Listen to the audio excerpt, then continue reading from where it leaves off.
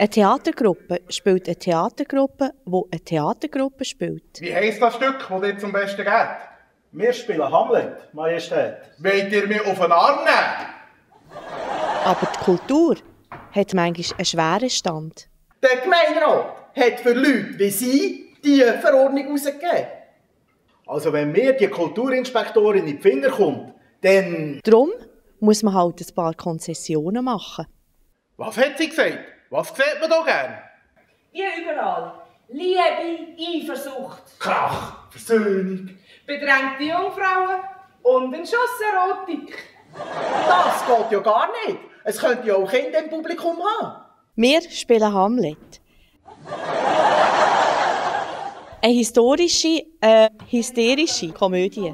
Äh, so stellen Sie mir nicht vor das Publikum. Mit der Theatergruppe im provisorisch Gränichen.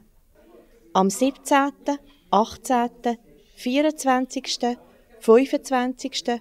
und 26. April. Geht nur voran. Ich folge euch. In der Aula vom Primarschulhaus Gränichen. Am besten jetzt gerade reservieren.